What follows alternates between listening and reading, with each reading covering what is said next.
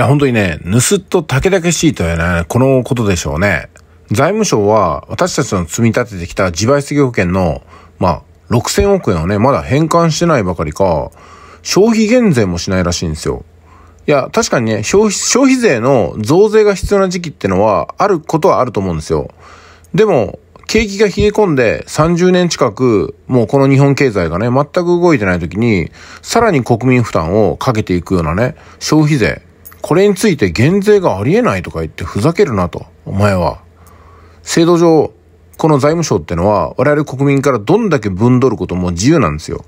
多分ね、この鈴木財務大臣とか財務省の職員ってのは、あの、例の暴力国家の回し者じゃないかなと思うんですけどもね。え、とにかく日本国民になんかね、いいことをしようと思わずに、例えば消費税は全世代型社会保障を支える財源とか言いますけども、いや、金がないんだったらお前らの知恵で作れって話なんですよ。何のためにそこで高い給料をもらって働いてるんだってことですよね。お金が足りない分、国民の負担を増やせばいいって考えるんだったら、それはね、そこら辺の素人さんでも考えることなんですよ。そうじゃないと。国民の負担を減らしながらも国民の保障を高めていくっていうふうなね、この矛盾への挑戦に頭脳を使ってもらえれば、私たち国民納得するわけですよね。何の知恵も使わずに、金が足りないから分取ろうとかね、その分取った一部を俺たち使おうぜみたいに考えてるわけでしょ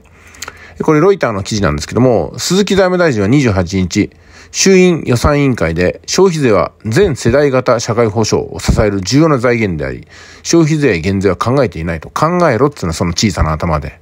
それから、